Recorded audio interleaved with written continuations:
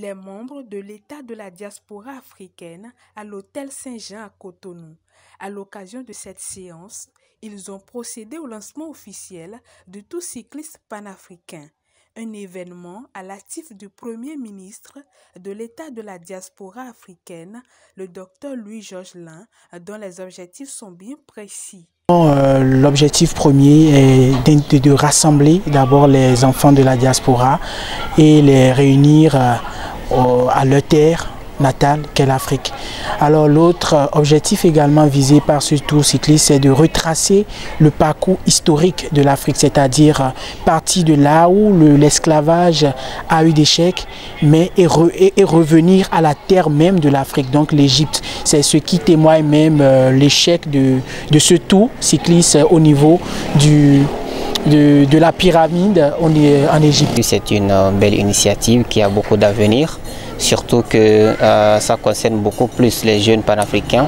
Je pense que c'est une très belle initiative qui mérite beaucoup d'encouragement et que ça nécessite également aux jeunes de, s'engager beaucoup plus dans des initiatives de ce, genre pour qu'à l'avenir nous puissions avoir n'est-ce pas, une Afrique euh, euh, couverte de paix, une Afrique couverte de, générosité, une Afrique couverte de fraternité, une Afrique couverte de, beaucoup d'entraide. Alors euh, voilà, donc euh, j'encourage bien les, initiateurs et je m'engage moi en tant que jeune, n'est-ce pas, à les accompagner avec les moyens, n'est-ce pas, beaucoup plus euh, les moyens dont j'en dispose. Cette compétition qui va se dérouler en plusieurs étapes offre une grande récompense aux vainqueurs nous aurons les pays de la diaspora qui seront traversés, dont les Royaumes-Unis, les États-Unis, la Jamaïque, le Panama, la Colombie, le Brésil, l'Argentine. À ce niveau, il est important de préciser que euh, au Royaume-Uni, il y aura une équipe. L'équipe devant euh, mener le convoi et la course à ce niveau, l'organiser. Donc l'équipe organisatrice du convoi à ce niveau devra communiquer pour recenser, pour recenser les participants. Et les participants à ce niveau vont faire l'étape des Royaumes-Unis et on aura un vainqueur. Les trois, d'ailleurs les dix finalistes auront tous de l'eau de consolation.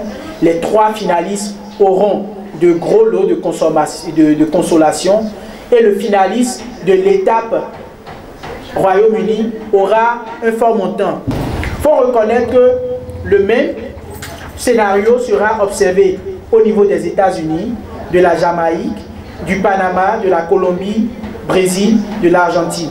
Là, ce sont les pays de la diaspora, c'est eux qui vont commencer d'abord la première phase.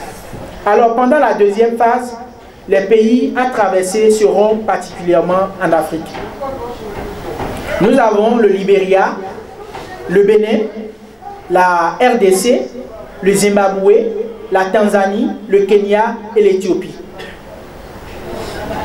Et le même scénario dont j'ai parlé tout à l'heure, les 25 millions de francs CFA seront toujours appliqués aux finalistes. Les trois meilleurs seront également avec leur prix et les dix finalistes auront leur lot de consolation. La troisième phase est la phase finale qui se déroulera en Égypte aboutira euh, à la pyramide en, en Profitant de l'occasion, Gildas Rassidé, ambassadeur pour la jeunesse de l'État de la diaspora africaine et président du mouvement Bat-toi pour la paix, a distribué des attestations aux participants du convoi du Vivre Ensemble tenu dans le mois de novembre 2020. Ce certificat a été co-signé par le ministre des Sports, de la Jeunesse et des Sports, du Bénin, que je salue au passage pour sa disponibilité dans ce projet.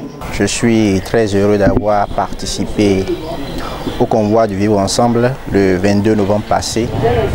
Donc euh, c'est avec une très grande joie que je suis là cet après-midi pour recevoir euh, mon attestation. J'ai participé au convoi du Vivre Ensemble qui a eu lieu le 22 novembre 2020.